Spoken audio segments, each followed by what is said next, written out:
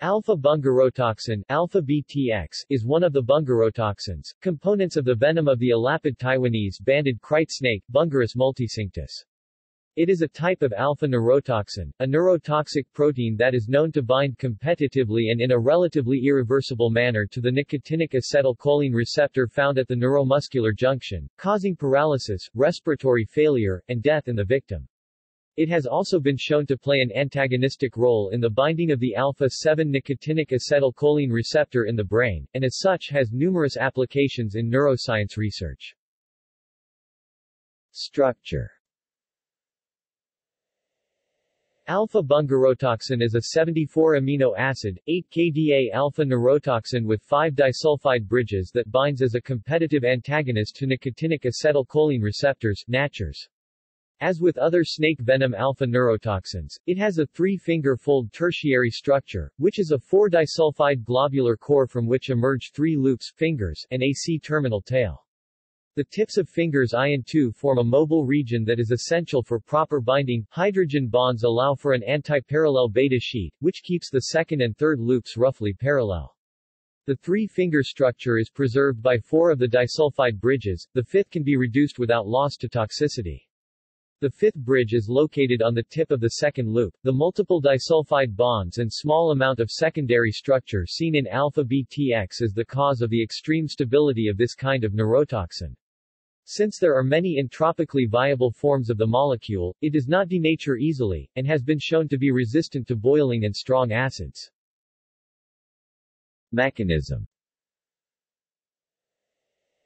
Alpha-neurotoxins antagonistically bind irreversibly to NACHRs of skeletal muscles, thereby blocking the action of AC at the postsynaptic membrane, inhibiting ion flow and leading to paralysis.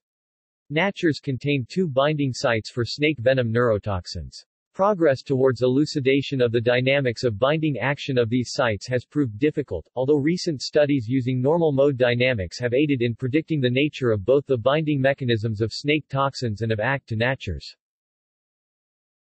One such study, by Samson and Levitt, 2008, revealed a twist-like gating motion responsible for NACHR channel opening.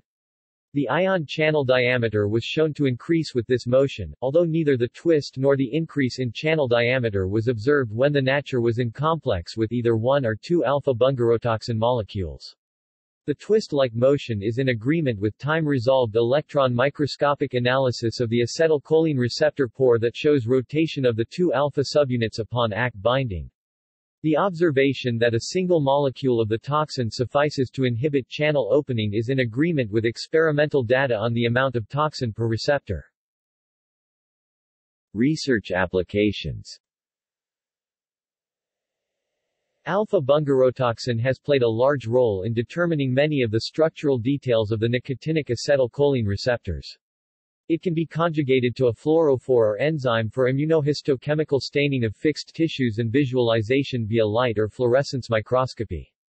This application enables morphological characterization of the neuromuscular junctions.